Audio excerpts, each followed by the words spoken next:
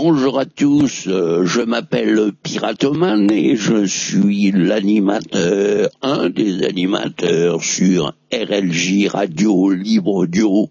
N'hésitez pas à venir me voir sur le Visospace pour vous enregistrer votre musique, vos interventions. Nous mettons à votre disposition un studio complet d'enregistrement distant.